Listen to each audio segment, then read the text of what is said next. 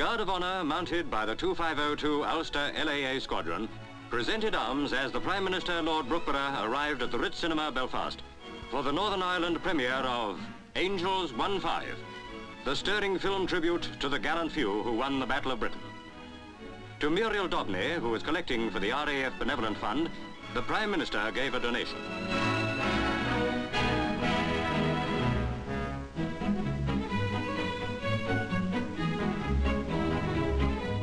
During the run of Angels 1-5, appeals were made each night by high-ranking RAF officers for the Benevolent Fund. In his speech at the premiere, Lord Brookeborough urged the youth of Ulster to come forward and join one of the services that they might train for their country's defence.